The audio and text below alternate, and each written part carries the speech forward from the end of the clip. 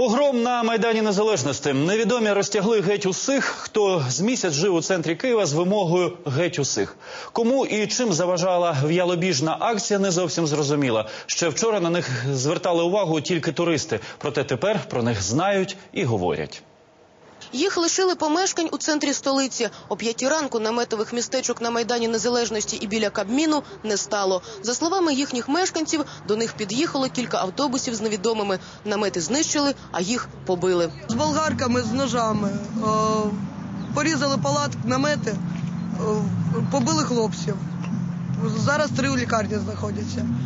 Дівчат теж чіпали, але менше. Мене по ребрам вдарили, поклали лицем до землі, скрутили, коліном зверху на хребту прижали. Тим, хто до сьогоднішнього ранку мешкав між Маріїнським парком і будівлею Кабміну, дісталося ще більше. Парню одному там по ребрам очень хорошо дали, его полностью в парке словили, и он убегал. А мне я пыталась подняться, хотя бы посмотреть, что это за люди, как бы, и сразу сказали, лицо в землю не подниматься.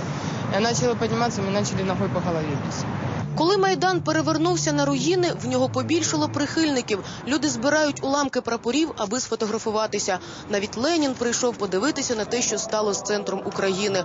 Він обурений. як всі говорять, Ну, цивілізовано важко, треба боротися. Даже важко розібратися. А фізично не треба. Це я хоч в молодці. своє время, в своє время у мене були там недостатки, но я фізично надо умом. Хто стоїть за погромом наметового містечка? Протестувальники стверджують, відчувають руку влади. У нас сьогодні є всі е, підстави говорити те, що це був е, це було урядове замовлення з боку Юлії Тимошенко і е, Віталія Юрійовича Лисенка. Міліція розглядає іншу версію. Протестувальники чогось не поділили з іншим громадським об'єднанням. На назву цієї організації громадської не буде. Проте вона нам вже відомо і вже відпрацьовують е, ви працівники міліції відпрацьовують саме е, чому вчинила таку акцію ця організація, чому не проінформувала київську міліцію про те, що буде такі акції непокори вчиняти у центрі столиці. Олесь Доній протестувальник зі стажем. Це зараз він мешканець парламенту. А в 90-ті теж був на майдані. каже, тоді наметове містечко теж громили і чомусь за схожим сценарієм. Аналогічна ситуація, на жаль, відбувалася під час акції України без кучми, коли близько е, 300 переодягнених курсантів під виглядом анархістів зносили на метове містечко.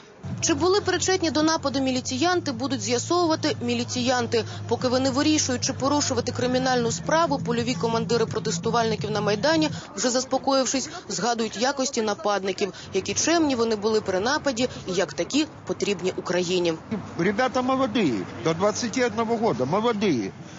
Где-то нецензурная брань, где-то, но в основном так. Батька, хочешь жить?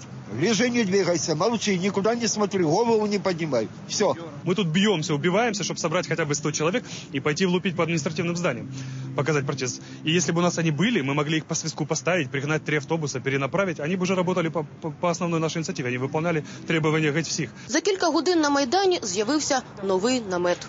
Мар'яна Бухан, Олег Жданов, програма Вікна СТБ.